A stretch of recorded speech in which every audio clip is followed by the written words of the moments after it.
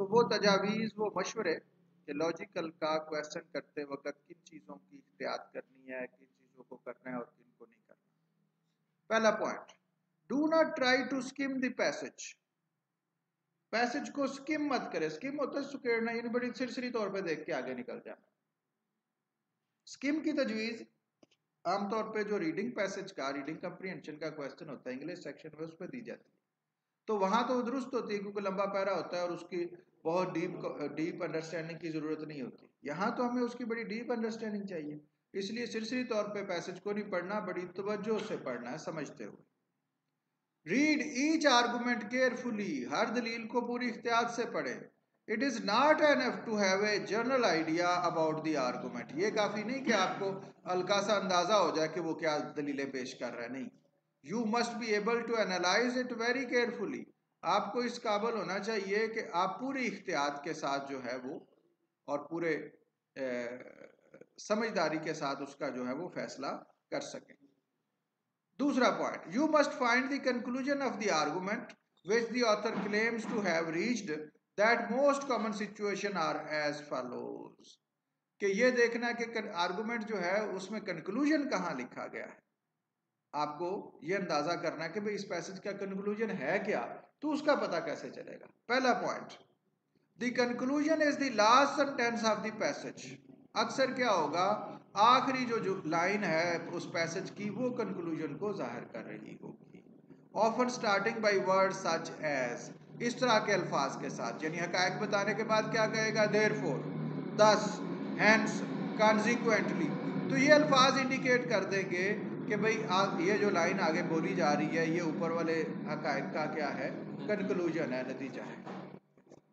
और क्या हो सकता है? The conclusion is first sentence of the passage followed by the supporting evidence ये भी हो सकता है कि पहले ही वो कंक्लूजन दे दे और फिर उसकी सपोर्ट में एविडेंस दे। तो उसमें फिर क्या करेगा? वो वो जुमला बोलेगा उससे पहले ना कोई देर फोर होगा ना हैंड्स होगा बल्कि वो एक लाइन लिखेगा और फिर आगे रीजनिंग देना शुरू कर देगा कि ऐसा क्यों है?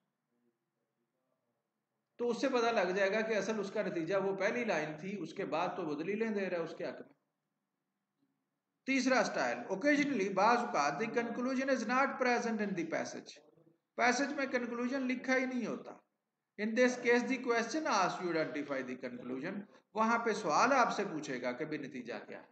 यानी आमतौर पर नतीजा या तो एंड पे होगा, या शुरू में होगा, और या ये भी हो सकता है कि नतीजा उस आर्गूमेंट के अंदर लिखा ही हुआ ना हो। और उसका क्वेश्चन वो आपसे पूछे कि बताओ जी इसका नतीजा क्या है। अगला पॉइंट पे particular attention to signal words जो सिग्नल वर्ड्स हैं, उन पे खास तौर पे ध्यान दें। भाई सिग्नल वर्ड्स क्या होते हैं? ऐसे अल्फाज जो किसी खास चीज़ की निशानदेही कर रहे होते हैं। सिग्नल हम क्या कहते हैं आम ज़िंदगी में? भाई रेड सिग्नल है तो इसका मतलब रुक जाओ आप इशारे पे हो ट्रैफ़िक पे रोड पे।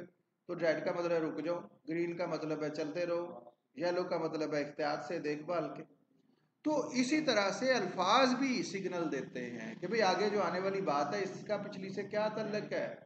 तो उन अल्फाज पे बड़ी तवज्जो देनी है। वो अल्फाज क्या मसला यहाँ इसने एग्ज़ाम्पल दी कि वो कहता है फॉर दिस रीजन इस वजह से।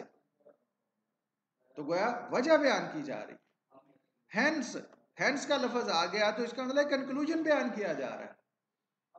कि जो ऊपर वाली बात है, उसका निचोड़ निकाल रहा है, नतीजा निकाल रहा है। आल दो अगरचे। तो अगरचे का आल दो का मतलब ये हुआ कि जो पिछली बात है और जो अगली बात है, दोनों एक जैसी नहीं है।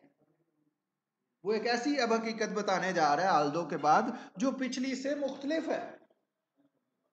तो उसके लिए क्या वो बोलेगा? आल्दो बोलेगा। बट लेकिन तो लेकिन भी क्या बताता है कि पीछे वाली बात से हट के एक बात आने वाली है। एक्सेप्ट सिवाय तो ये एक्सेप्शन आने वाली है। ये वो बात है जिस, जो पिछली जिस पे अप्लाई नहीं होती। और इन कंट्रास्ट इसके बिल्कुल बरक्स वो है पिछली बात के बिल्कुल उल्ट बात आने वाली है। नेवर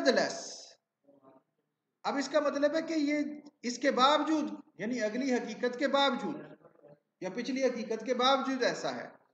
तो वहाँ क्या लफज इस्तेमाल होगा? नेवरदलेस अनलाइक इस जैसा नहीं है। तो ये अल्फाज आपको खबरदार कर रहे हैं कि आगे क्या होने वाला है। तो ये चंद अल्फाज यहाँ लिखे और भी बहुत से अल्फाज हैं। अगर आप आर्गूमेंट की